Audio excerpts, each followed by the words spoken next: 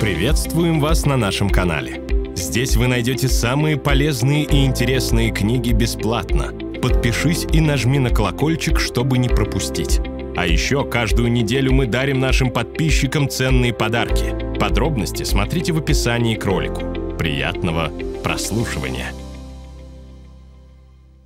Часто, читая журналы или смотря телевизор, мы встречаем рассказы о том, как кто-то разбогател. Кто-то узнавает такие истории лица, кто-то думает, что это развод, и такого не бывает в реальной жизни. Придумали сказку про то, как можно стать богатым и счастливым, и рассказывают ее людям.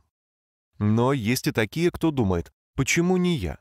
Действительно, а почему бы и нет? Создавая эту книгу, мы хотели рассказать вам о том, как реально стать миллионером, что для этого нужно сделать и как сохранить заработанное. Посмотрите внимательно в зеркало. На вас смотрит потенциальный миллионер. И ваш путь к миллиону должен начаться с идеи и мечты. Глава первая. С чего начинается путь к миллиону? Современная история знает тысячи примеров людей, которые воплотили свою мечту в жизнь. Наверняка многим из вас знаком термин «стартап». Многие современные акулы бизнеса считают его оскорбительным, кто-то думает, что это что-то несерьезное. Вообще бытует заблуждение о том, что вообще такое стартап. Распространенное мнение о стартапе – это сайт в сети интернет, который продает какую-то уникальную услугу или товар с изюминкой в общем. На самом деле это не совсем так. Давайте вернемся немного в историю. Впервые термин «стартап» появился в 1939 году в Америке, штате Калифорния, в небольшом городке Санта-Клара, где было сосредоточено производство в сфере компьютерных технологий. Два студента, Дэвид Паккарт и Уильям Хьюлетт, открыли небольшую компанию и назвали свой проект «Стартап» от английского начала «начинать», компания с небольшими вложениями. Все, что могли вкладывать студенты, это свою стипендию. Денег на найм людей тоже не было. Всю работу по воплощению своей идеи в жизнь они выполняли самостоятельно. Теперь же они нам известны как основатели огромной и успешной компании Hewlett Packard или HP. Думается, что вряд ли есть человек, не знающий про оборудование этой марки. На сегодня техника марки HP известна не только в США, но и далеко за ее пределами. Двое студентов, имевших в запасе небольшую сумму денег и огромное желание работать и развиваться, прошли путь от маленького бизнеса до крупного предприятия, приносящего своим владельцам миллионы. У современного капитализма молодое лицо. Если бизнесмены прошлого века могли похвастаться заработанными миллионами после 35 лет, а чаще только после 40, то миллионеры века 21 едва преодолели 25-летний рубеж. Американцы в понятие «стартап» вкладывают намного больше, чем жители любой другой страны мира. Наверное, поэтому удачных примеров американских стартапов гораздо больше. Сутью хорошего стартапа будет две составляющие. Это идея и команда. Мы продаем именно свою идею. Сначала она будет существовать только на бумаге, но потом ее реализация будет ключевой задачей вашего проекта и именно для ее решения потребуется команда. Приводить истории успешных проектов можно очень много. Интернет пестрит рассказами о миллионах, заработанных разными людьми. В качестве примера очень удачного стартапа мы можем взять всемирно известный проект Стива Джобса. Компания Apple, занимающая лидирующее место на рынке мобильных девайсов, тоже стартап.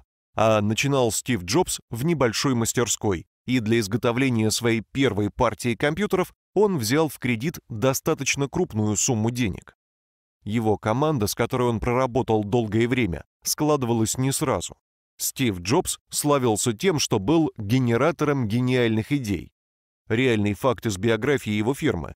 Тех, кто не верил в идеи Стива, он просто менял на других сотрудников. Однажды так была уволена целая смена работников. История Стива Джобса, главы крупной корпорации, рассказана сотни раз. Но при этом его воля и желание достичь конечной цели не перестают удивлять сотни людей по всему миру. Ведь даже после смерти Стива Джобса дело его живет. Таких примеров успешных стартапов сотни. Один из них — студия Walt Disney. Нет человека, который не знает или не смотрел фильмы и мультфильмы этого холдинга. Но мало кто в курсе, что студия Disney, которая сейчас объединяет в себе несколько крупных киностудий со всемирно известными именами, Marvel, Pixar, начиналась как стартап. Из-за недостатка идей Уолта уволили из газеты, в которой он работал. Владелец крупнейшего в будущем холдинга, который сейчас приносит миллионы, открыл его в собственном гараже. У него не было денег ни на аренду помещения, ни на широкий штат специалистов. А теперь еще две истории. Первая — об Энтони Робинсе. Многим это имя ни о чем не скажет. Энтони Робинс — это человек цели, умеющий достигать намеченного и рассказывать об этом другим. Да, кстати, не только рассказывать, но и учить. Энтони вырос в небогатой американской семье и прошел путь от простого сотрудника небольшого издательства до его руководителя. Он автор бестселлера «Книга о власти над собой». Он создал систему, благодаря которой вы можете добиться всего, о чем мечтаете, реализоваться в любой области. Личное обучение у Тони Робинса стоит 1 миллион долларов, причем его прием расписан на два года вперед. В свое время у него прошли обучение Михаил Горбачев, Билл Клинтон, принц Чарльз. Пример Тони Робинса — это пример человека, который удачно продал свою идею, заработав на стартапе крупную сумму денег. Сейчас Энтони Робинс входит в сотню самых влиятельных людей планеты по версии журнала Forbes. Вторая история — это история человека по имени Рэнджи Гейдж. В России он известен как автор книги «Почему вы глупы, больны и бедны». Несмотря на то, что книга издана в 2006 году, она считается одним из самых продаваемых в США изданий. Вся жизнь этого человека — это череда падений, после которых начался взлет.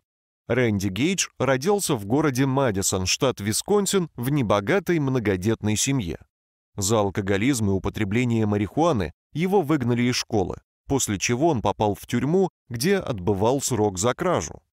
В 16 лет после условно-досрочного освобождения он устроился в пиццерию посудомойщиком, где дослужился до управляющего.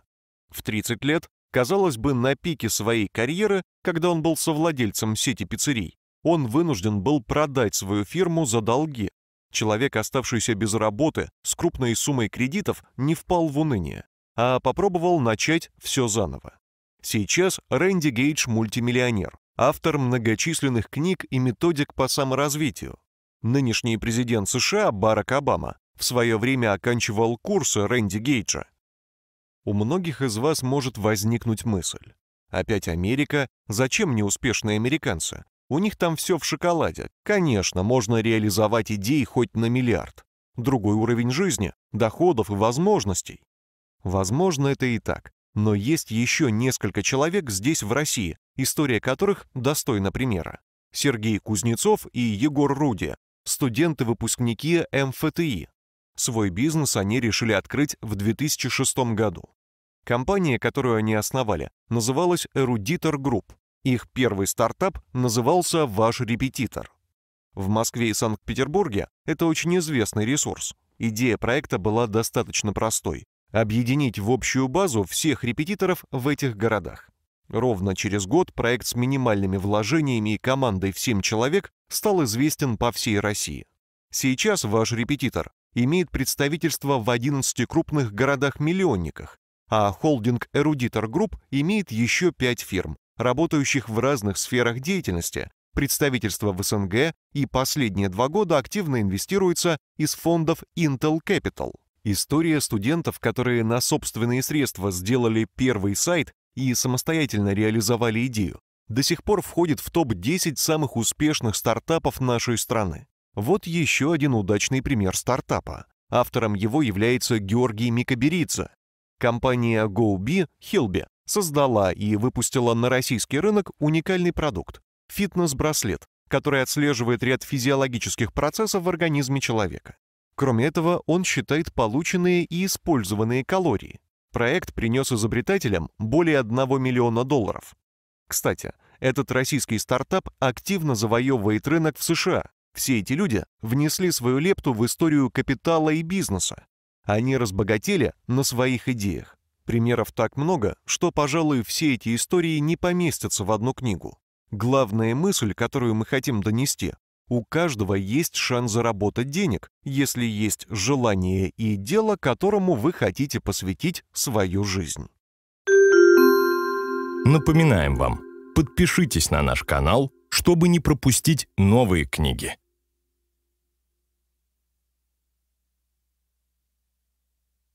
Глава вторая. Что приведет вас к миллиону? Мало придумать идею, за которую заплатят миллион. Нужно уметь реализовать ее и сохранить в том виде, в котором она будет давать постоянный успешный результат. На тему навыков, которыми должен обладать потенциальный миллионер, написано бесчисленное множество книг. Каждый такой автор считает, что у миллионера должны быть ряд тех или иных качеств. Мы проанализировали большое количество литературы и выбрали те навыки, которые, на наш взгляд, являются самыми полезными и реально помогут заработать деньги. Множество крупных прибыльных проектов началось с мечты. Мечта сбудется только в том случае, если вы желаете этого очень сильно. Банальная фраза, но мысли действительно материальны. Итак, условие номер один – это наличие мечты, любимого дела, хобби, увлечения. Многие из вас поспорят с нами. Есть один очень простой пример, который ярко показывает на практике, что может дать идея. Имя Чарльза Дэрроу не на слуху. Это не очень популярный американский миллионер, если можно так сказать о миллионере. Но вот об игре «Монополия» многие из вас наверняка знают. Игра была создана в 1929 году. Кризис и безработица, которые последовали за Великой депрессией, оставили Чарльза Дэрроу без работы. Его жена была беременна вторым ребенком, и чтобы хоть как-то прокормить семью, Чарльз соглашался на любую работу. Он чинил утюги, выгуливал собак, мыл пол в ближайшем кафе, но, несмотря на все его старания, денег не хватало категорически. Вечерами, чтобы не впасть в депрессию, он развлекался тем, что рисовал на клеенке, которая лежала на кухонном столе, улицы Атлантик-Сити, города, в котором он жил и который любил всей душой. Через некоторое время на клеенку был перенесен весь город. Там были фабрики, заводы, дорогие магазины. И чтобы отвлечься от грустных мыслей, Чарльз с супругой нарезали бумажных денег и покупали заводы, фабрики, магазины. Приобретение предметов роскоши в игре отвлекало их от их бедности. Друзья, которые приходили к ним в гости, увлеклись игрой и начали просить Чарльза сделать им экземпляр в подарок. Первые образцы игры были изготовлены просто так, в подарок, без оплаты. Потом, когда поток приятелей иссяк, заказами стали обращаться приятели друзей, которые видели экземпляры монополии или играли в нее. Тогда Чарльз задумался и назначил за один экземпляр сумму 4 доллара. Он продал 100 комплектов, когда понял, что он один не справляется с тем потоком заказов, которые есть сейчас. Это был тот момент, когда спрос превысил предложение. Задумавшись, что делать дальше, он решил, что сам не потянет продажу своего изобретения и, составив обзор игры, решил продать ее в крупную по тем временам компанию Parker Brothers. Бизнесмены отказали Чарльзу в покупке игры, назвав ее в корне неверной экономической стратегией. Чарльз взял небольшую суду в банке, сделал 100 экземпляров своей игры, поехал в соседний город, где был крупный супермаркет, и сдал монополию на реализацию. Через пять лет он и его семья были несметно богаты. И идея, которая была придумана просто для того, чтобы отвлечься от грустных мыслей, принесла не только доход, но и стала делом всей его жизни. Главное правило успеха – мечтайте, и ваши мечты исполнятся. Второй навык, который будет гарантом вашего успеха – умение двигаться в нужном направлении. Движение – жизнь, говорили древние, и это действительно так. Без четкого плана ваши мечты останутся только мечтами. Именно этот навык требуется в себе развить, чтобы чего-то добиться. Все начинается с планирования. Научитесь планировать свой рабочий день. Четкое расписание на день, неделю, месяц помогут вам целенаправленно двигаться к своей конечной цели. Здесь главное соблюдать несколько правил. Правило первое. У каждого пункта вашего плана должен быть временной интервал. Это поможет вам разделить цели на горящие, второстепенные, глобальные. Вы поймете, что нужно сделать в какой промежуток времени. Задачи начнут выстраиваться в логические цепочки, и выполнение одной потянет за собой вторую, третью и так далее. Грамотное распределение вашего рабочего времени поможет вам быстрее и качественнее двигаться к достижению своей цели. Условие номер три – это любовь к себе. Вы продаете свой талант, свои мысли, свои идеи. Никто и никогда не будет понимать вас лучше вас самих. Чем полезна такая практика? Вы всегда несете полную ответственность за то, что вы делаете. Вы всегда сможете проанализировать результаты своей работы, понять, что именно вы сделали правильно, какие задачи нужно решить. Необходимо исключить из своего лексикона такие фразы, как «у меня не получилось потому что», я не успел это сделать, потому что... Никто не виноват в ваших проблемах, кроме вас самих. Самостоятельность и умение отвечать за свои поступки – это важный навык, которым должен обладать любой человек, который хочет начать получать прибыль, а не зарплату. Если вы любите себя и хотите добиться успеха, то эти навыки должны стать важной составляющей вашей жизни. Четвертое условие – заниматься только любимым делом. Да, конечно, мы можем привести примеры из мировой истории, когда люди делали что-то специальное из-за денег, и это приносило им прибыль и успех. Классический пример такого успеха – это Артур Конан Дойл. Он известен нам как автор романов о Шерлоке Холмсе и докторе Ватсоне. Серия детективов была написана только для того, чтобы заработать деньги. Дойл не продолжил серию о Шерлоке Холмсе только потому, что считал ее малоперспективной. Это не было делом всей его жизни. Эти романы хорошо печатали английские газеты, и от них шел стабильный и регулярный доход. Но этот пример скорее исключение, чем правило. Прежде чем выбрать себе дело, задумайтесь и задайте себе вопрос. Готовы ли вы заниматься этим делом, когда денег будет столько, что вам не нужно будет работать. Если у вас загораются глаза, когда вы рассказываете о своей идее, даже тогда, когда у вас на счету лежит миллион, значит, это дело принесет вам еще в два раза больше. Пятое условие и, пожалуй, самое эффективное – будьте заняты.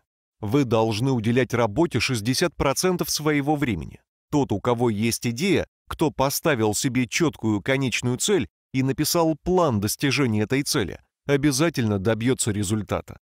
Для примера мы хотим привести одну историю, которая знакома вам под телеэкраном. В 2006 году в кинотеатрах показывали фильм «В погоне за счастьем» с Уиллом Смитом в главной роли. Смит играл парня Криса Гарднера, который прошел путь от бездомного малоимущего продавца до крупного брокера и главы брокерской конторы. Герой Уилла Смита — молодой отец, оставшийся с сыном на руках, без крыши над головой. Крис имел четкую цель, к которой стремился.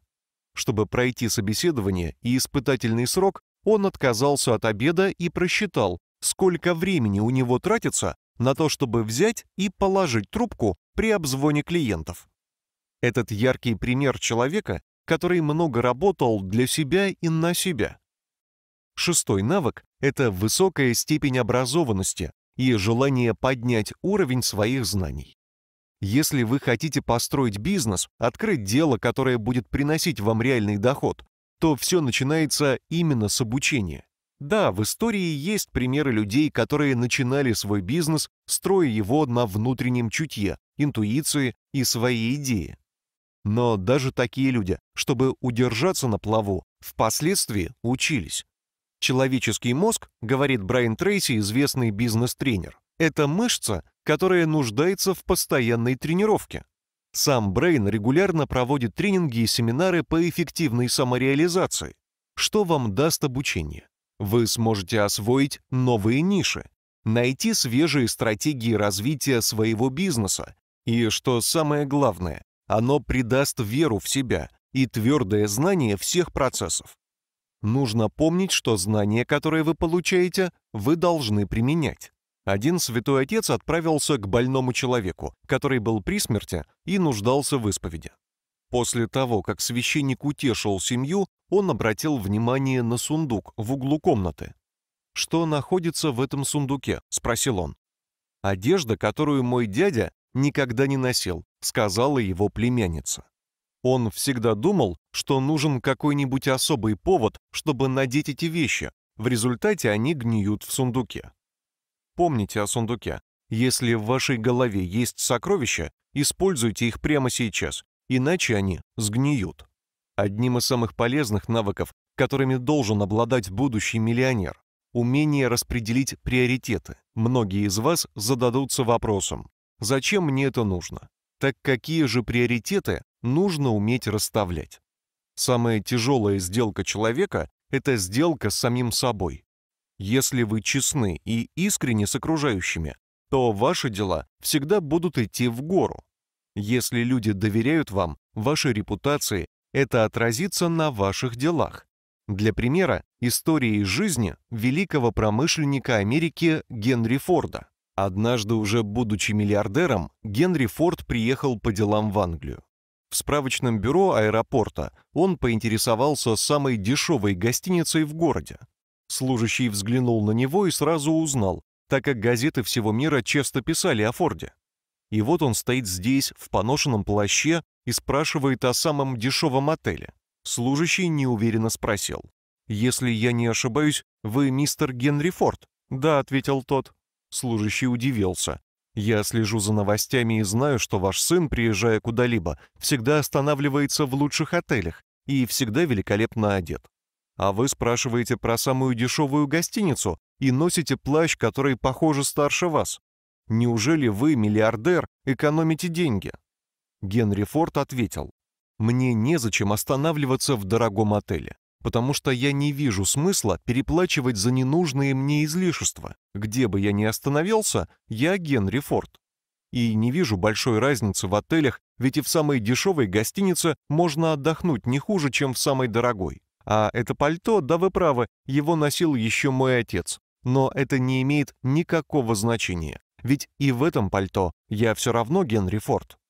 Мой сын еще молод и неопытен, поэтому боится, что подумают люди, если он остановится в дешевом отеле. Я же не беспокоюсь о мнении окружающих обо мне, потому что знаю себе настоящую цену.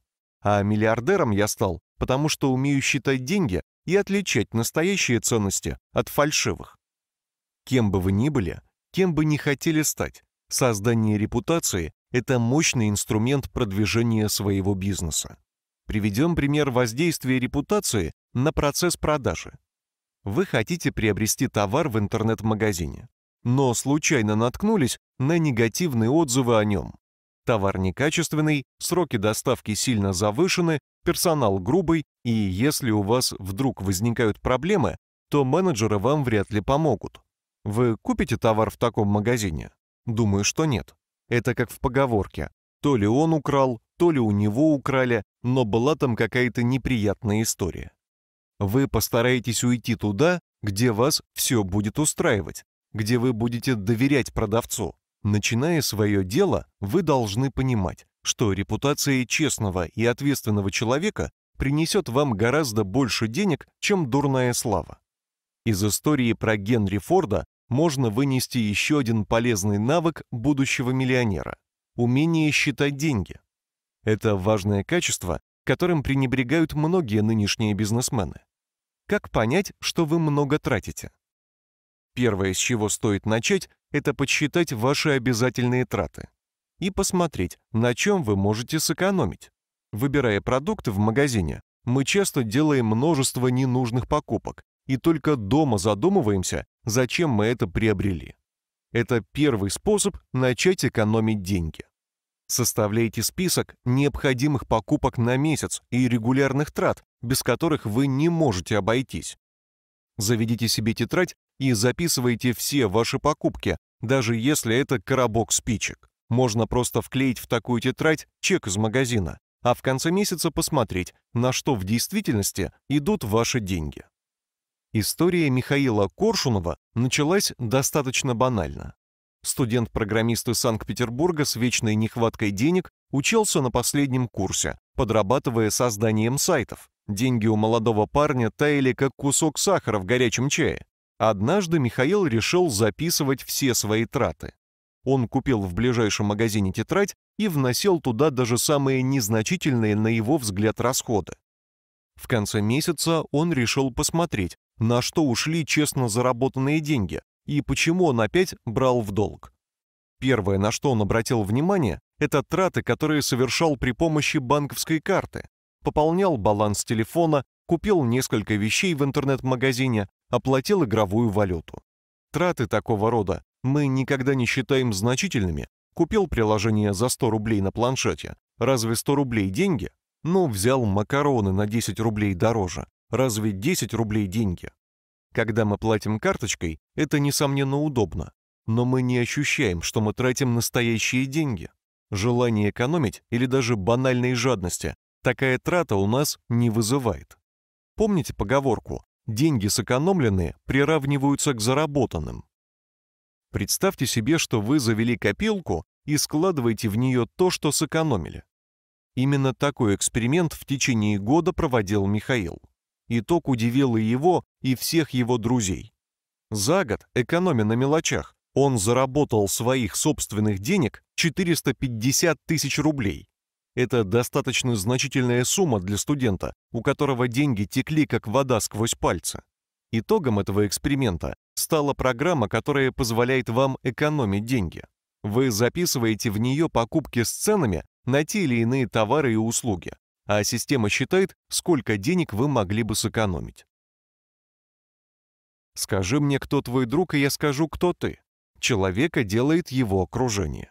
По этому поводу есть много теорий, но мы согласны, что поднимая уровень образования, вы должны менять свой уровень общения. Мы перенимаем привычки и настрой тех людей, с которыми мы общаемся. Человеческая особенность такова, что мы мимикрируем под окружающую среду. Вращаясь среди миллионеров, вы начнете мыслить так же, как и они. Появятся цели, стимулы, сменятся приоритеты. Многие могут возразить, что найти миллионеров для общения не так-то просто. Эта проблема вполне решаема. Есть как минимум два способа, как можно начать менять круг своего общения. Сейчас эра молодого бизнеса.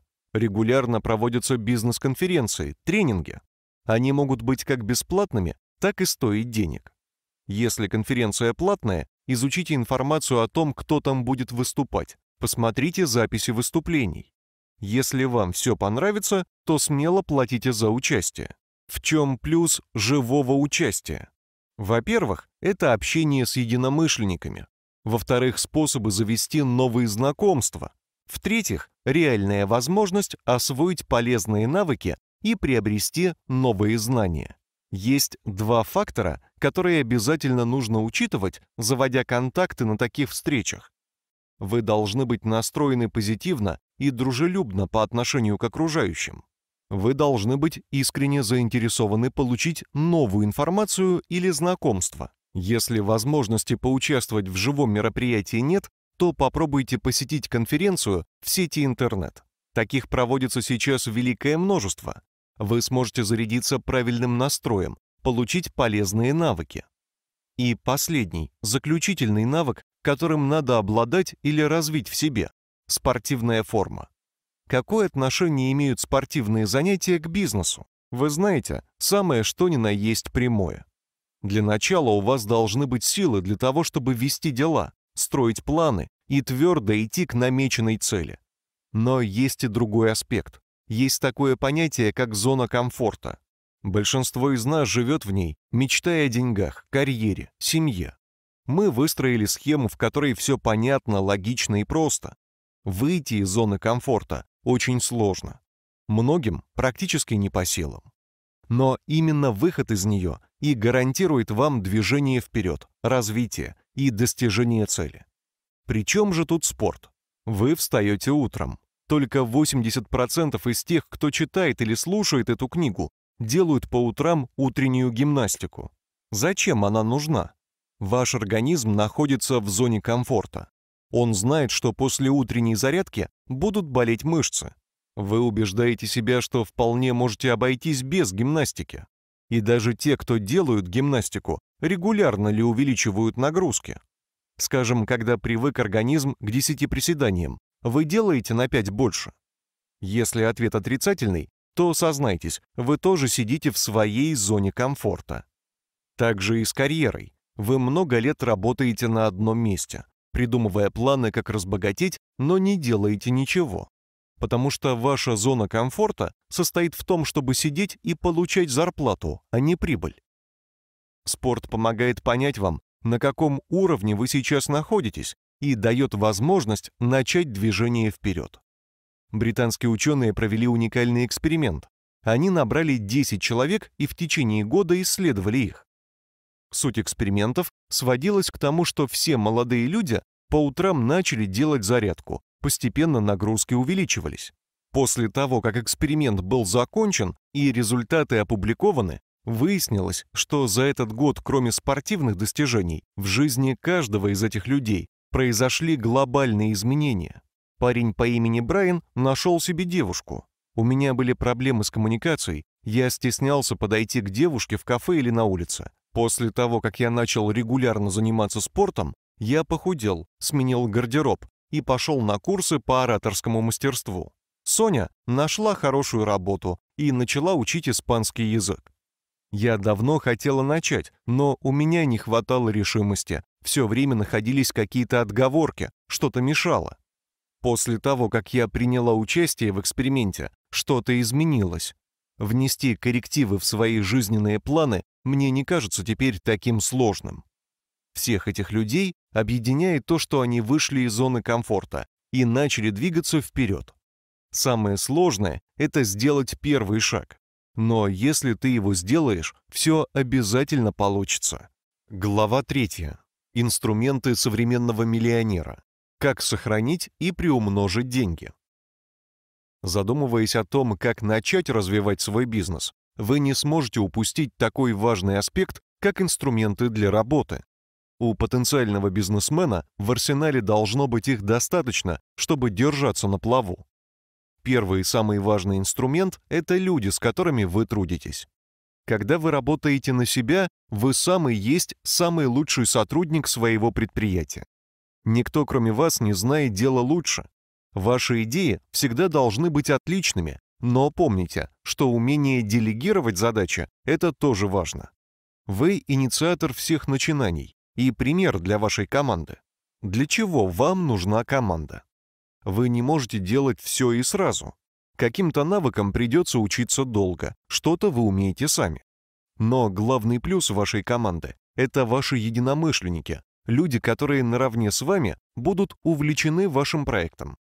При подборе персонала следует опираться на несколько факторов. Во-первых, решите, где и как будет работать ваш персонал.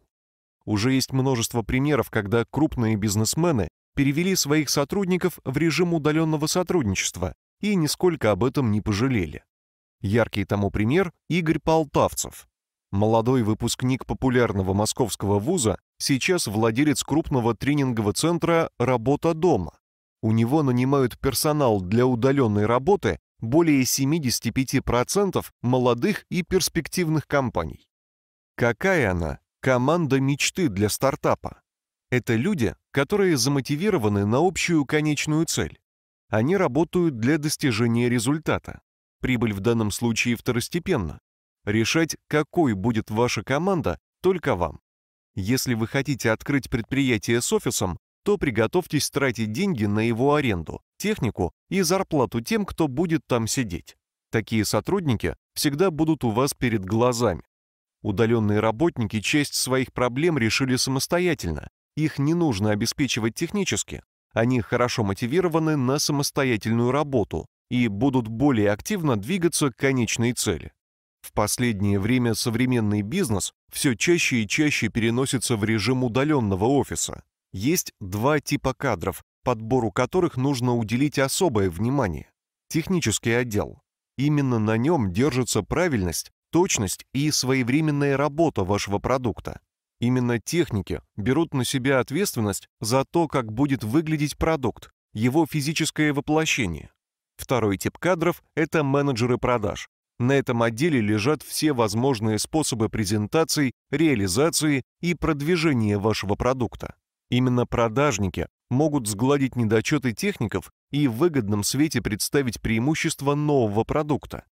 Яркий пример качественной работы отдела продаж – это отдел продаж компании Apple. Почему они? Посмотрите, как сделана презентация любого нового продукта этой компании. Их ждут. Все ролики выполнены в высоком качестве. Каждый раз подача материала очень оригинальная. Презентация заточена на мелочи, на которые смотришь, открыв рот. У любого пользователя возникает желание обладать данным товаром. Кстати, пик продаж в интернет-магазинах приходится именно на показ презентации продукта. Уже потом люди возвращаются в привычный эмоциональный фон и думают, зачем я 10 минут смотрел, как создается кнопка в новом ноутбуке. Еще одно правило при подборе персонала – не раздувайте штат на старте. Несмотря ни на что, люди работают за зарплату, а большой коллектив ненужных сотрудников только увеличит ваши расходы. Следующий выбор, с которым вы непременно столкнетесь, это квалификация ваших работников. Нанимать только специалистов со стажем и опытом работы или отдать предпочтение молодым сотрудникам с горящими глазами. Опытные сотрудники будут стоить дороже. За качество и знания придется платить. Специалисты с опытом не всегда идут учиться, стараются применять шаблонные отработанные методики, которые вам и вашему бизнесу могут не подойти. Молодые специалисты смогут привнести в ваш проект что-то новое и будут смотреть свежим, незамыленным взглядом. Молодых придется учить. Возможно, свои первые ошибки они совершат, работая именно на вас. И этот риск вам придется оплатить собственным временем и деньгами. Поставить точку в этом выборе можете только вы сами. И это будет только ваше решение. Второй опорой для вашего бизнеса должно стать планирование. Есть множество инструментов, которые помогут вам решить данную задачу. Для чего вообще нужен план? Помните анекдот? Русский народ не имеет плана действий. Он страшен своей импровизацией. Когда вы работаете на начальника, то все, что вы должны делать, за вас планирует кто-то другой. В крупных фирмах это целые отделы, которые занимаются постановкой задач для сотрудников и следят за их выполнением. Планирование задач – это прямой путь к достижению целей. И только четкое понимание того, что вы хотите получить на выходе, поможет вам определить время, которое уйдет на задачу, а также узнать, насколько вы продвинулись в ее выполнении. Приведем простой пример. Вы работаете на себя, и ваша команда трудится вместе с вами ставит себе цели, расписывает, как эти цели будут достигаться. В конце недели и месяца сдает отчет о том, что из запланированного было выполнено, что отложилось на месяц или два. Вы видите, что ваши люди действительно работают. Они планируют свое время и тратят его на то, чтобы превратить его в полезный продукт. На фоне сотрудников, которые работают, вы всегда сможете распознать тех, кто спустя рукава относится к своим обязанностям. Знаете, часто встречаются такие люди, у которых слов на трое суток дел на полчаса. Вы сможете отсеять такие кадры из своей команды. Третий столб, на котором будет держаться ваш бизнес – правильное распределение финансовых потоков. Откуда взять деньги на стартап? Как правильно распределить прибыль? Эти вопросы задают себе многие начинающие предприниматели. Итак, вопрос финансирования, пожалуй, самый животрепещущий, и волнует всех, кто начинает свое дело. Отсутствие денег порой останавливает даже тех, кто полон решимости начать свое дело. Итак, первое, что нужно сделать, это просчитать все расходы. Стартап – это проект, который развивается за счет собственной прибыли. После того, как вы закончили просчеты, посмотрите, что из того, что вы рассчитали, вы можете сделать своими силами и качественно. Да, конечно, самостоятельное выполнение всех работ займет долгое время. Но на этапе, когда нет возможности вкладывать деньги, это самый эффективный вариант. Следующим вашим шагом будет подбор необходимого персонала, который вы наймете за процент от предстоящей прибыли. Многие молодые амбициозные специалисты пойдут к вам. На такие должности вы берете только самый необходимый персонал потому что процент от прибыли – это достаточно большая оплата работы, особенно если вы уверены в результате. Дальше ищите в сети интернет сайты, которые предлагают профинансировать тот или иной проект. Таких ресурсов много. Там необходимо пройти регистрацию и презентовать свой проект. Если он покажется инвесторам качественным и вы расскажете обо всех перспективах, то в итоге вы сможете получить дополнительное финансирование своего проекта. Еще один неплохой вариант получить субсидию на бизнес – это помощь от государства. Если вы никогда не регистрировались в качестве индивидуального предпринимателя, то составляйте грамотный бизнес-план и презентуйте его в центре занятости. Если ваш проект сочтут рентабельным, государство выделит вам деньги на развитие собственного бизнеса. Грамотное ведение дел проекта позволит вам получить прибыль. Что стоит учитывать, просчитывая все расходы? Составляя смету, будьте честны перед собой. Смета должна содержать реальные цифры с небольшим запасом, если цены, которые вы брали при анализе, окажутся выше рыночных. Всю полученную прибыль вы делите на три части. 30% от каждой прибыли, даже если это 100 рублей, вы откладываете на рекламу и продвижение. В нормальных организациях с хорошим товарооборотом именно эта сумма всегда тратится на продвижение. Оставшиеся 70% вы делите на две равные части. Первая половина – это технические расходы, налоги, зарплата сотрудников. Оставшаяся сумма – это ваша прибыль. Следуя этим незамысловатым правилам, вы не только сможете заработать, но и приумножить свои капиталы. Глава 4. Сферы деятельности, которые принесут миллионы. Несмотря на то, что капитал мы зарабатываем в 21 веке, Идеи, на чем заработать, пришли к нам из века 20-го. Есть несколько крупных сфер, в которых современные Рокфеллеры черпают свои капиталы. Первое, что мы рассмотрим, это предпринимательство в сфере профессиональных услуг. В этой нише больше всего востребованы учителя, репетиторство, няни, бухгалтерские услуги, подбор персонала, юридические услуги, нотариат. В данном случае вы, организовывая фирму, основываетесь на своих навыках и умениях. Это как театр одного актера. Вы сами продавец своих услуг и директор. Отдельной нишей стоят организации по оказанию услуг более крупного формата, как, например, обучающие детские центры, частные детские садики, логопедические группы.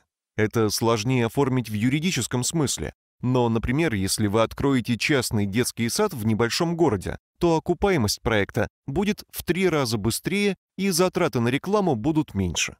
Следующий вид деятельности – это медицина и фармакология. Если вы обладаете достаточным уровнем образования, чтобы открыть свой медицинский кабинет, то он окупится, несмотря на затраты, примерно через год. По данным ВЦИОМ, рынок платных медицинских услуг вырастет в нашей стране на 15% в ближайшие 10 лет. В России большинство россиян в сфере малого бизнеса отдают свои предпочтения оптово-розничной торговле, автосервису, ремонту бытовых и других приборов, что составляет от 38 до 53% всего рынка малого бизнеса. Эти сферы наиболее популярны и здесь же очень высокая конкуренция. Мы не можем обойти вниманием тот аспект, что сейчас все больше и больше предпринимателей переносят свой бизнес в интернет. Первое, на что может быть спрос при удаленном сотрудничестве, это те же услуги. Если вы обладаете значительными знаниями и навыками, вы можете открыть свои курсы и обучать людей тому, что сами умеете делать очень хорошо.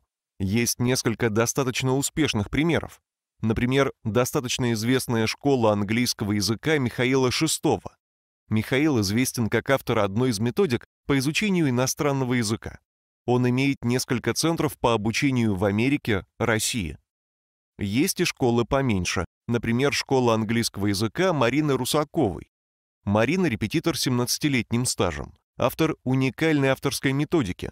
Ее проект «Стопроцентный стартап» начался в 2013 году за это время доходы компании превысили сумму в 5 миллионов рублей. Или кондитер Евгения Федулова. Она начинала свой проект с небольших мастер-классов по изготовлению тортов. Сейчас ее пекарня и центр, где любой желающий может обучиться искусству печь торты, известен по всей России. Сфера услуг, несмотря на насыщенность рынка, остается самой востребованной в интернете. Рынок узконишевый. Те, кто работает в нем, давно, конечно, заняли свои места. Но вы, придумав что-то оригинальное, всегда сможете занять свое место. За последние 10 лет самые популярные интернет-проекты были реализованы именно в сфере продажи услуг. Это и самореализация, техники личностного роста, увеличение продаж, техническое обеспечение проектов, правильная организация, репетиторство и консалтинг. Услуги или посредническая деятельность позволят вам вести бизнес даже без вложений, что совсем неплохо для начинающих бизнесменов. В последние годы наибольшее распространение получили следующие виды деятельности. Первый разработка и продажа мобильных приложений. 21 век это век современных технологий и прогресса. Сейчас управлять многомиллионной компанией можно с пляжа какого-нибудь красивого курортного города с помощью обычного сотового телефона. Мобильные компании борются за качество сервиса и регулярно устраивают гонки вооружений. Каждый, кто является счастливым обладателем смартфона, часто ищет себе удобные приложения. Одно из самых популярных приложений это счетчик калорий. Сейчас таких программ вы можете найти очень много. Но первую такую программу создал студент Владимир для своей жены. Его супруга все время сидела на диете и высчитывала количество съеденных калорий. Чтобы облегчить ее труд, он разработал простейшую программу-калькулятор, которая имела ряд функций. Их многие пользователи считают и по сей день очень полезными. Второй. Мобильные платежи. Эта ниша рынка более всего распространена по франшизе. По статистике, в 2017 году рынок потребления новых средств сотовой связи увеличится еще на 40%. Все виды деятельности, связанные с обслуживанием сотовых телефонов, будут непременно прибыльными. Основную долю на этом рынке занимает оплата мобильных услуг. Рынок потенциально выгоден для вложений и открытия новых проектов. Сейчас компаний, осуществляющих мобильные платежи, существует очень много. Но буквально каких-то 10 лет назад компания Kiwi и два ее владельца решили привнести на рынок новую услугу мобильные платежи.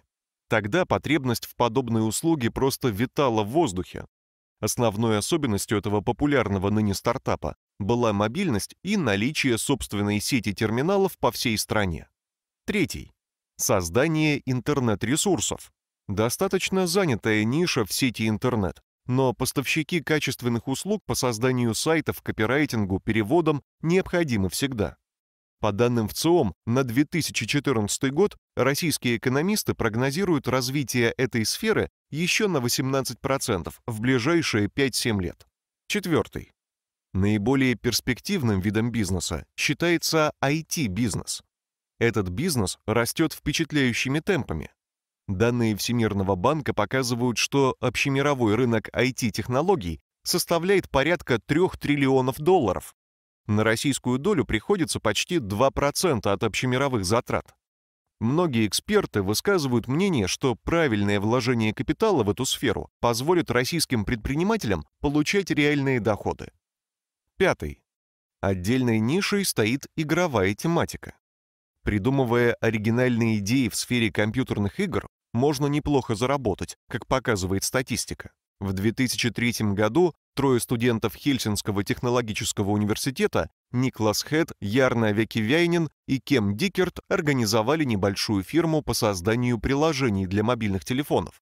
Их первые опыты были не очень удачными, пока в 2009 году на суд зрителей не было выпущено самое нелепое игровое приложение всех времен и народов. Никакой логической мысли и полезных навыков, но сейчас, в 2015 году, мало кто не слышал про игру «Злые птички» или «Angry Birds». Сегодня эта игра считается самым продаваемым приложением во всех мобильных устройствах мира. Она была скачана 1 миллиард раз. Еще один яркий пример, когда идея была реализована в миллиардный проект World of Tanks. Сейчас реклама этой стратегии распространена по всему интернету. По статистике, в России в нее играет каждый третий пользователь, увлеченный компьютерными играми. А начиналось все достаточно прозаично. В 1998 году компания студентов организовала компанию wargaming.net. Первые проекты фирмы были не сильно распространены в интернете и не получили особой популярности. Первый масштабный проект, на который разработчикам отказались дать деньги российские инвесторы, был запущен в 2003 году. Руководители компании создали презентацию новой игры и добились, чтобы проект профинансировало максимальное количество инвесторов из СНГ. На текущий момент компания занимает второе место на рынке игровой индустрии. Свадебная тематика занимает третье по популярности место в малом бизнесе. Ежегодно в России открываются сотни брачных агентств, салонов свадебной атрибутики и бизнес-процессов, тесно связанных с темой свадьбы и ее организацией. Для примера можно рассказать историю Инны Фроловой. Сейчас это известный модельер в мире свадебной моды. Три года назад Инна очень мечтала дарить девушкам возможность устроить свадьбу своей мечты. В ее довольно скромном ателье в Подмосковье не было очереди из клиентов. Однако бизнес-вумен сделала практически невозможное. Ее желание устраивать чужие свадьбы было так велико, а возможности малы, что она решила написать книгу о том, как лучше устроить свадьбу и свадебный бизнес. Сначала на ее лекции ходили только ее подруги. Потом несколько слушательниц, воодушевленных ее лекциями, открыли свои свадебные салоны. Слава о необычном преподавателе стала распространяться. Сейчас Инна обладательница миллионов, автор очень успешного курса по обучению организации свадеб и владелица крупного ателье в Брюсселе. Хорошим направлением для бизнеса без особых капиталовложений могут быть вендинги. Многие из вас видели и пользовались кофейными аппаратами, стоящими в крупных супермаркетах или торговых центрах. Пополняли баланс мобильного телефона через терминалы оплаты. Это новый вид бизнеса, отлично подходящий для молодого стартапа, без первоначальных взносов, открытия юридического лица и прочей мороки. Этот способ хорош для тех, кто не имеет больших стартовых капиталов и хочет начать свою дорогу к миллиону. Все зависит от того, какой проект вы хотите реализовать. На старте главное — понимание трех вещей. Во-первых, ваша идея. Вы выбираете себе ту область, в которой сами будете профессионалом. Во-вторых, тщательный расчет проекта. Сюда будет входить финансовое планирование, распределение задач, деловое планирование, составление графиков работы и сроков исполнения задачи, вне зависимости от того, сами вы будете реализовывать свой проект или чужими руками. И в-третьих, самый важный фактор – действие. Пока вы не начнете действовать, у вас ничего не поменяется. Глава 5. Хорошая идея. Что это? Приближаясь к завершению нашего рассказа о перспективном бизнесе и ваших возможностях, мы оставили нераскрытым один важный вопрос. Как все-таки понять, что ваша идея хороша и все, что вы задумали, будет работать? Есть сотни примеров, когда самые нелепые идеи приносили прибыль. Современная литература дает кучу советов о том, как понять, что идея перспективная и что с ней стоит работать. Этих советов настолько много, что мы решили отобрать для вас самые актуальные и, на наш взгляд, правильные. Надеемся, именно они помогут вам определиться. Работайте не ради денег, а ради морального удовлетворения. Если ваша основная цель – выколачивание денег из проекта, то, скорее всего, у вас ничего не получится. Вы должны любить дело, которым собираетесь заниматься. И вашей конечной целью должна быть польза от вашего проекта, а не прибыль. Прибыль всегда должна быть вторична. В этом случае вы сможете раскрутить свою идею. Вы должны понимать, что работа на себя — это риски. Вы идете на них осознанно, и не всегда в вашей жизни будут белые полосы. Начинайте с малого. Не стоит строить наполеоновские планы. Возведение дома всегда начинают с макета. Не ставьте целей захватить мир своим изобретением. Помните, истории, которые мы рассказывали вам на протяжении всей книги, это стартапы, которые начинались как маленькие проекты без намека на грандиозность. Вспомните социальную сеть ВКонтакте. Павел Дуров не хотел гиперпопулярности своего ресурса. Начальная идея была только объединить студентов всех университетов в одном месте. А поисковая система Google которая известна сейчас даже маленьким детям, изначально была создана для библиотеки Бостонского университета. Было написано несколько алгоритмов, которые упорядочили поиск книг. Стив Джобс, глава корпорации Apple, свои первые компьютеры собирал в собственном гараже и мечтал, что через несколько лет будет стоять во главе самой популярной технологической империи. Все эти люди ставили себе в задачу решение конкретных человеческих проблем, не пытались спасти мир. Меньше слов, больше действий. Как говорит Сергей Брин, один из основателей Google, пока вы думаете, ваши конкуренты запускают голую идею. Вы обдумываете развитие, они создают бета-версию. Вы думаете о том, где взять деньги, они зарабатывают первые доллары. Вы думаете и решаете запускаться, а конкуренты уже имеют первый миллион. Вы думаете, они действуют. Легкость презентации вашей идеи будет ее существенным плюсом. Вам придется часто и много рассказывать о том, что вы хотите делать или уже начали. Это будут презентации потенциальным инвесторам, друзьям, коллегам, сотрудникам, которых вы наймете на работу. Суть вашего бизнеса должна легко укладываться в несколько предложений. Часто у ваших слушателей не будет много времени для вас и ваших идей. Вы должны лаконично и кратко уметь рассказать о самой сути, может быть, от этого будет зависеть судьба вашего проекта. Презентация вашей идеи – это один из самых важных моментов всего бизнес-процесса. Лучше всего, если вы будете рассказывать о своем бизнесе, и у вас будет законченный готовый проект. Лучше использовать видео, максимально по 2-3 минуты. Если вы решили остановиться на тексте, то тут важно помнить, что лучше картинки, наглядно показывающие процесс и конечный результат, чем большое количество слов. Самый удачный пример лаконичной презентации — это Twitter. В 140 слов вы должны уместить емкую, лаконичную мысль. Вы готовы уложить свою презентацию в несколько предложений? Попробуйте. Для начала вашего проекта вам не нужны миллионы.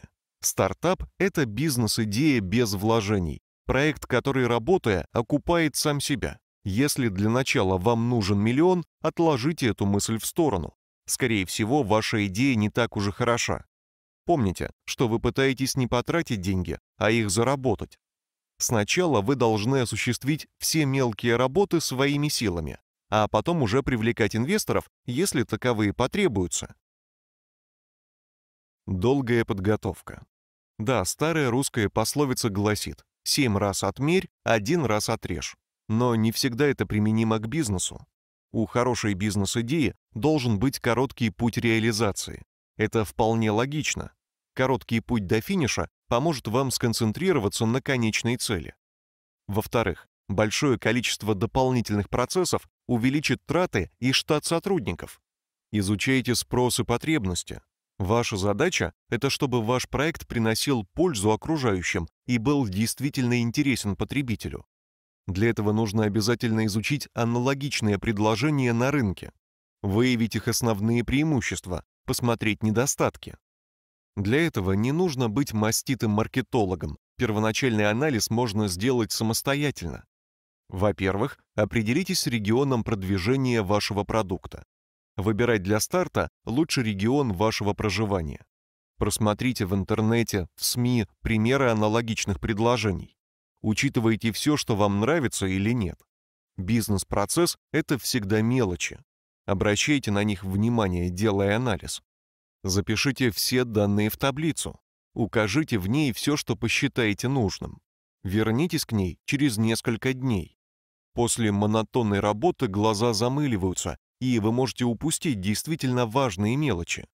После того, как вы соберете все, что вас интересует, перед вами будет картина работы ваших конкурентов.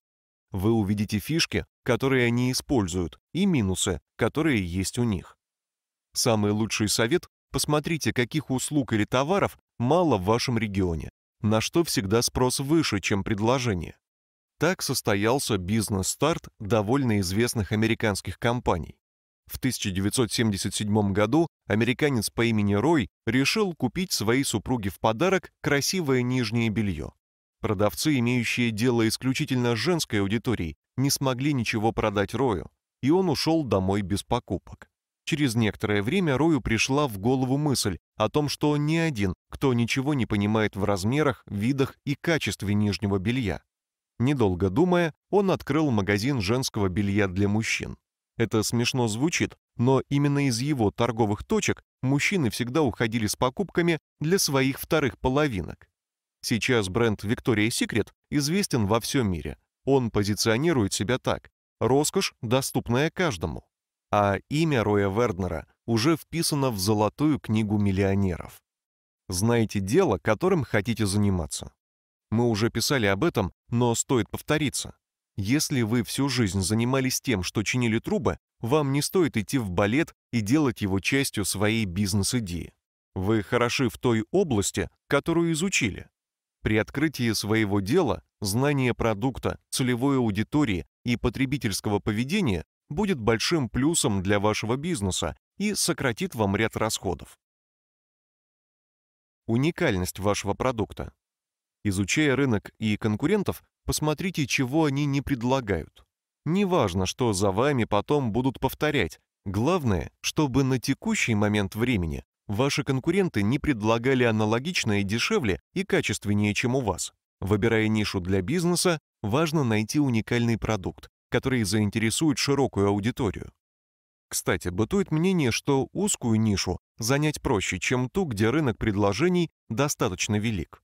Это мнение до сих пор вызывает споры у экономистов, но мы все-таки порекомендуем вам реализовывать идею в нише более широкой. Узкие товарные ниши поделены игроками, которые наверняка лучше вас знают рынок. Там, где предложений много, у вас всегда будет шанс получить своих клиентов, которые придут к вам из любопытства или для сравнения. Посмотрел сам, расскажи другу. Если ваша идея приобрела популярность в социальных сетях, можно считать, вы выиграли в лотерею. Социальное одобрение очень важно для любого начинающего бизнесмена. Помните, мнение людей это важный фактор развития любого бизнеса. Мы рассказали о том, какие факторы помогут вам определить потенциал того, что вы придумали, но на одном из них хочется заострить ваше внимание. Это презентация бизнес-идеи. Нам хочется немного шире раскрыть этот вопрос. На первоначальном этапе вы можете сделать все самостоятельно с минимальными затратами и обойтись минимумом ресурсов.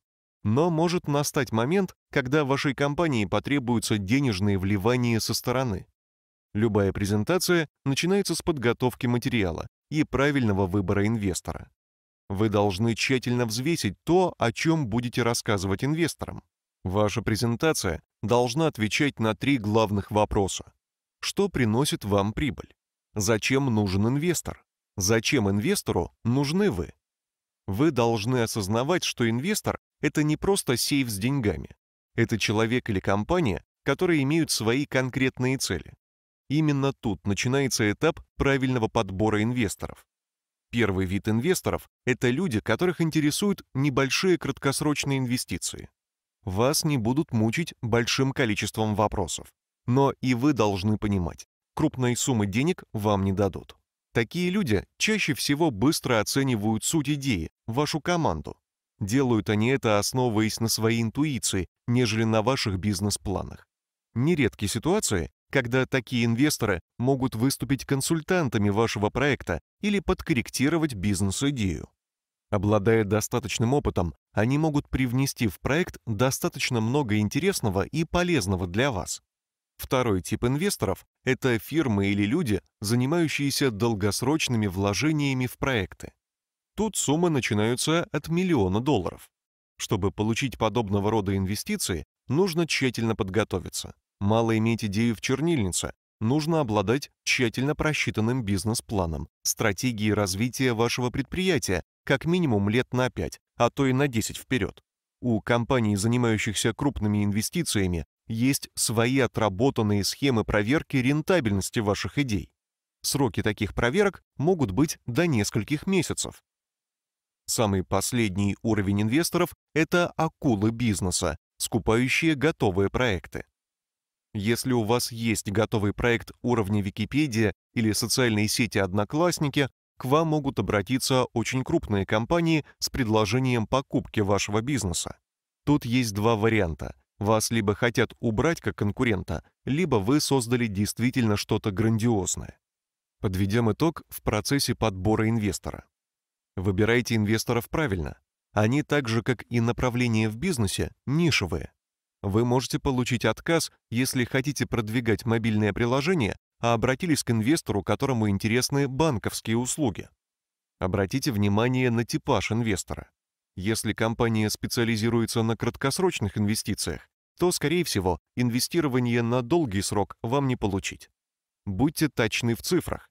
Перед тем, как презентовать проект, обязательно соберите данные. Например, вы можете организовать сбор предварительных заявок на продукт. Этим вы покажете наличие целевой аудитории. Обязательно указывайте точные суммы, которые вам нужны на каждом этапе. Недопустимо употреблять слова «около» или «примерно». Проводя презентацию, вы должны решить конкретную проблему. Это очень важный момент. Теперь немного о самой презентации. Для начала лучше подготовить небольшой промо-фрагмент, чтобы рассказать суть идеи и представить команду проекта. Помните историю про Twitter? Вот именно на этом этапе вступает в силу пословица «краткость – сестра таланта». Если вводный короткий фрагмент будет скучным, не раскроет все прелести и суть вашей идеи, можете считать, что ваша презентация провалилась. Каким должно быть промо? Выбирая между текстом и видео, выбирайте видео. По статистике, 80% людей любят больше смотреть, чем читать. Не включайте в промо много громкой музыки и не пишите много текста. Если ваше промо понравится инвестору, вы сможете более детально рассказать о проекте.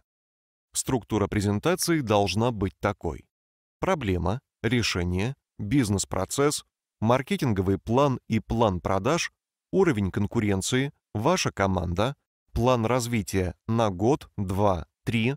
В какой стадии проект сейчас? На что нужны деньги? Ваши контакты. Презентация должна быть лаконичной. Не пишите много слов и деталей. Прежде чем показать кому-то свою презентацию, перечитайте ее сами и вычеркните то, что считаете не особо важным. Старайтесь, чтобы на одном слайде было не более 25 слов. Вы должны быть хорошо подготовлены. Лучше всего, если вы заранее прочитаете текст презентации родным и друзьям. Пусть они зададут вам вопросы, которые возникают у них в процессе. По окончании презентации спросите, что понравилось, что нет. Купили бы они конечный продукт. Почему? Никогда не перебивайте собеседника. Если в процессе появились вопросы, выслушайте их до конца, даже если вы поняли суть вопроса. Дайте полный и развернутый ответ. Ваш внешний вид должен быть опрятным. Перед началом презентации раздайте все материалы, которые считаете нужными. После окончания презентации оставьте свои контакты.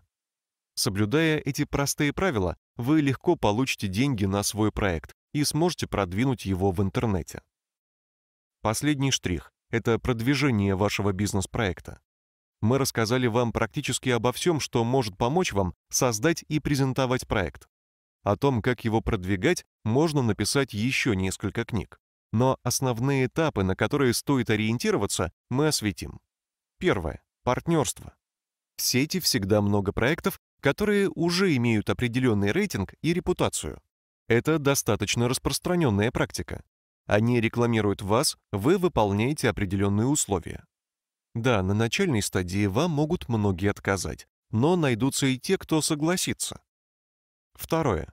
Реклама в блогах, тематических сообществах. Если ваш проект достаточно интересен и вы умеете хорошо и вкусно рассказывать о нем, то пишите.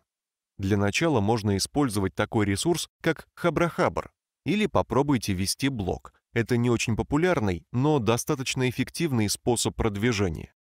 Вы также можете собрать тематические ресурсы средней популярности и стать их партнером. У блогов с невысоким рейтингом Посещаемость все же есть, и при этом не слишком завышенные требования к партнерам. Стремитесь отыскать те ресурсы, которые интересны именно вашей целевой аудитории. Выбирая между крупным популярным сайтом и менее известным, отдайте предпочтение второму, если на нем только ваша целевая аудитория. Третье. Пишите пресс-релизы. Да, большинство СМИ печатают только проплаченные пресс-релизы. но есть пара небольших хитростей. Соберите список ресурсов, которые вас интересуют и вам подходят.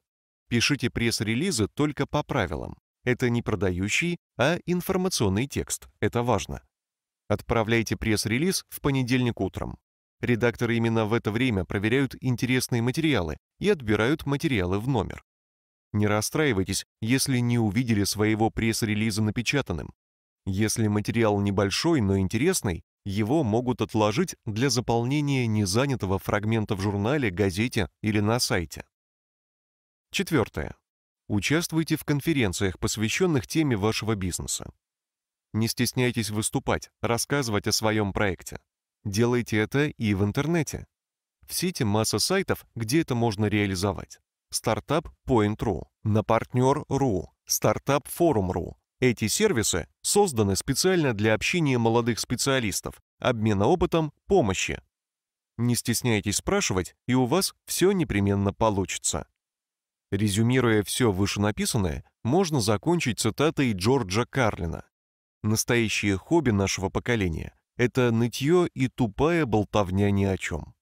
Неудачные отношения, проблемы с учебой, начальник-дурак — это все полная фигня, есть только один дурак — это ты. И ты сильно удивишься, если узнаешь, как много можно изменить, просто оторвав задницу от дивана. Звучит немного грубовато, но суть отражена верно. Мы часто встречаем маленьких людей, которые могут и будут делать великие свершения. Нет, это не громкая фраза. Она совершенно без пафоса и задних мыслей. Часто, очень часто, не имея начального капитала, не будучи самыми красивыми и очень умными, обычные люди делают то, что под силу каждому из нас.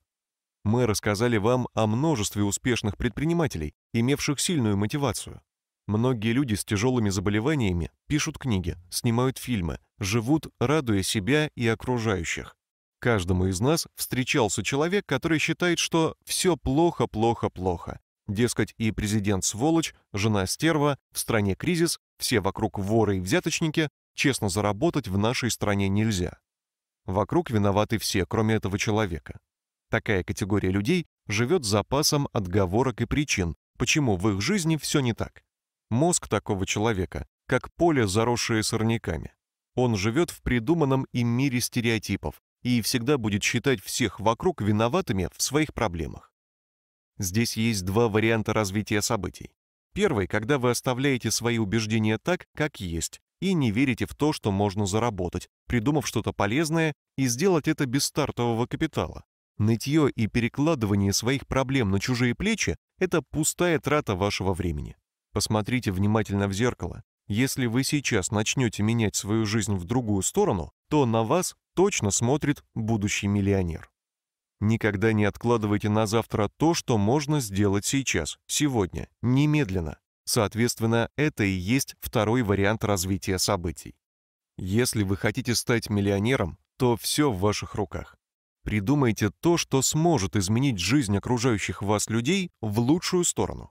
Развивайтесь. Сейчас масса способов получить знания бесплатно. Читайте интересные книги, Общайтесь с людьми, которые мыслят позитивно, которые чего-то добились. Заряжайтесь от них их замыслами, идеями, да просто хорошим настроением. Помните про поле с сорняками? Люди, которые считают, что они жертвы обстоятельств, и у них не получилось, потому что виноват начальник, сосед, страна, скоро и вас заразят таким же мышлением. Сорняки — это опасно. Они имеют свойство быстро расползаться по территории. Обязательно держите себя в хорошей физической форме. Тогда у вас будут силы и на новую жизнь, и на идеи. Многие часто думают, почему я живу не той жизнью, которую хочу прожить? Не путешествую, провожу мало времени с близкими мне людьми. Может быть, пришло время начать меняться? Дорогой слушатель, надеюсь, вам понравилась книга. Напишите в комментариях, какие еще книги вы хотели бы услышать. Поделитесь с друзьями и родными, и, конечно же, подпишитесь на наш канал, если еще не сделали этого, чтобы не пропустить новинки. Желаем вам всего наилучшего и надеемся, что наши книги изменят вашу жизнь в лучшую сторону.